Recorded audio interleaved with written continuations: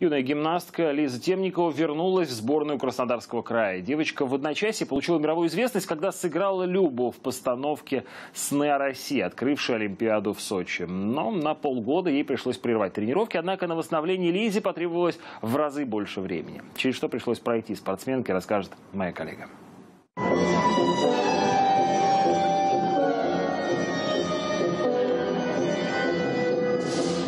Этих кадрах еще совсем юная, но уже подающая большие надежды гимнастка Лиза Темникова. Скромная школьница из Краснодара борется за победу на очередных соревнованиях. Девочка даже не догадывается, как сильно скоро изменится ее жизнь. Ведь именно ей предложили роль главной героини, девочки Любы, в церемонии открытия Олимпийских игр в Сочи.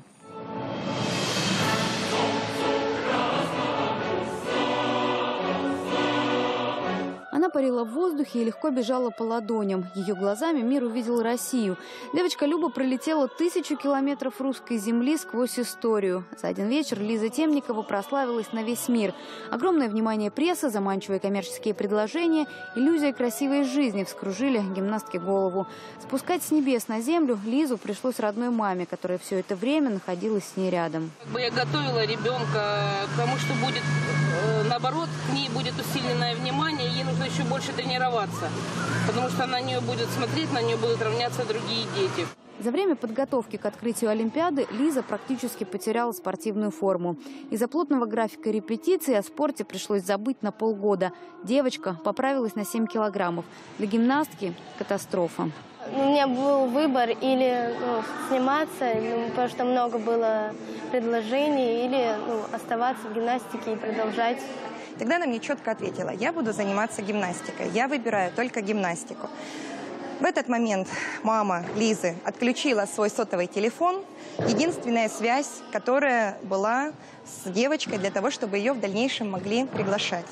То есть телефон мама отключила, контактов не стало, и мы спокойно стали восстанавливаться. Вернуть форму и доверие тренеров сборной Краснодарского края удалось только спустя два года. Спортивное питание, сборы, тренировки по 6 часов в день. Пришлось даже перейти на домашнее обучение.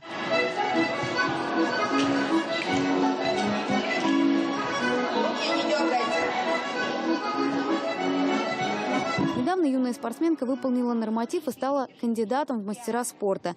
Лиза поставила себе цель – вновь приехать на Олимпиаду. Только теперь не в роли актрисы, а чтобы побороться за место на пьедестале. Ольга Кондратенко, Оксана Мамонтова и Алексей Туманов. Лайв.